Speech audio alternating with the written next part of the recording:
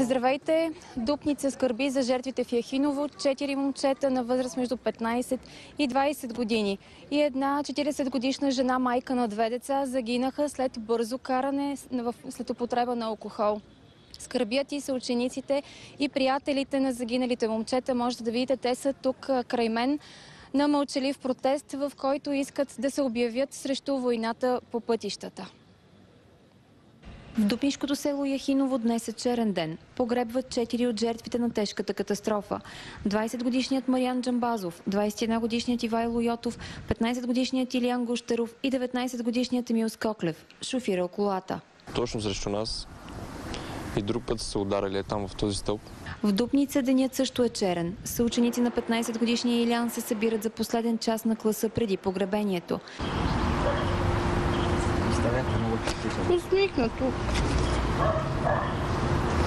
Никога не е създава проблеми.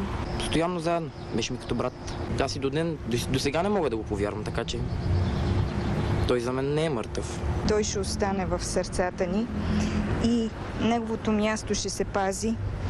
А това, което искам да кажа към хората, които взимат книжки и а, не е мъжество да караш с висока скорост. Тежка загуба за още един клас в Кюстендил. Колеги и приятели изпратиха 40-годишната начална учителка Елза в последния й път. Гняв срещу а, това, че една нелепост, една дивотия а, обръща живота на толкова много хора. Да, една майка, две деца вече няма да имат майка, един съпруг няма да има съпруга, един баща няма да има дъщеря, 25 деца няма да приключат учебната година с учителката им. Една седмица преди края Шокирани са и родините на Емил, момчето предизвикало катастрофата. Купило си колата скоро, с помощта на майка си. Викаме, той ме, те ти мама от тия 50 500 лева, иди си я купи, щом си си я харесал. Добре, маме, я че ти помагам, че ги изплатиме тия пари, няма да се косиш. че е починало и хвърлят вината на него, просто не става. След катастрофата в Яхиново ще бъдат поставени пет спящи полицая. Толкова, колкото жертви даде селото. Спри, животът е с предимство, някой те обича, карай внимателно. Това са само част от призивите на тези млади хора, които те са разлепили върху якетата си. Инициативите им ще продължат. Как точно сега ще разберем от Василена?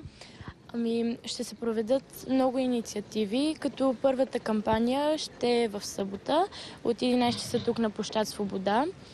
А, мотото на кампанията е Искам да се прибера жив, като... Ще се съберете млади хора, Да, вероятно. ще се съберем. м, Стотици хора ще има. Като най-вече искаме да отнесем посланието си до, а, до шофьорите, до младите шофьори, които те първа взимат книжки, те първа излизат по улиците. И искаме да им кажем, че не са сами на улицата. Има и пешеходци, а както и пешеходци, така и а, колездачи, които трябва да пазят. Така се разделяме с призив към шофьорите да бъдат по-внимателни. Екатерина Николова, благодарим ти.